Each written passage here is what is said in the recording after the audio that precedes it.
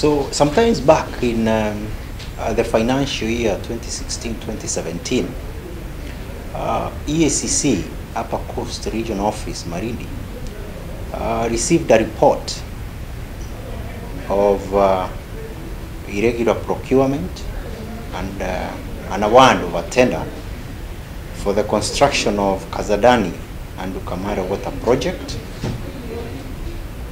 And uh, it was arranged that uh, the project had been awarded to Geotech Contractors Limited at a cost of um, 36 million 335,240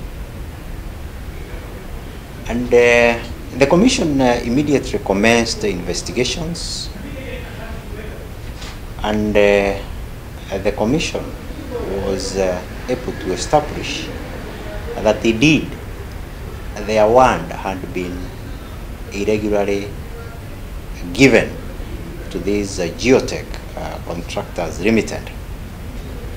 We also established that the documents that this company had submitted in support of the tender documents were forged documents.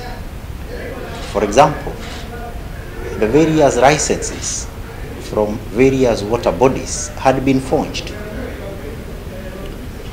The bank statements that the company had submitted to support their bid documents had also been forged. We have already arrested some suspects. The county officials, that is the chief officer, Department of Water, Samuel Kobegare, and uh, the monitoring and evaluation officer, Samuel Maneno Hatibu.